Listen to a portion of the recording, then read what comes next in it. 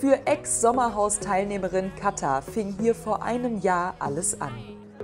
Auf Sam Dillons Halloween-Party lernte sie Reality-Star Erik Sindermann kennen. Trauriger Höhepunkt ihrer Beziehung, Zoff und Trennung vor laufenden Kameras im Sommerhaus der Stars. Das Sommerhaus selber fand ich nicht schlimm. Äh, die, also das, was danach kam von Erik, dieses ganze Gehetze, das Mobbing. Er hat offiziell ein Friedensangebot geliefert, aber ich sehe ja, wie es äh, nicht offiziell noch so weiterläuft. Ich kriege jeden Tag Chatverläufe zugeschickt, wo er Falschaussagen immer noch tätigt. Ähm, ja, er hört nicht auf, weil er hat ja nichts anderes zu bieten. Ne? Hat sich jemand mal über seine Mode oder über seine Musik unterhalten? Nein, also.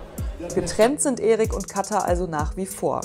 Verarbeitet und abgehakt scheint ihre Beziehung noch nicht. Könnte dann nicht ein neuer Flirt helfen? Ich bin nicht darauf äh, aus, jemanden heute kennenzulernen, aber natürlich, äh, wenn sich was Schönes ergibt, dann ergibt sich was Schönes. Aber kein Mann mehr mit Krone. Ich suche nur noch Männer mit Niveau. Es hat eben jeder so sein Beuteschema.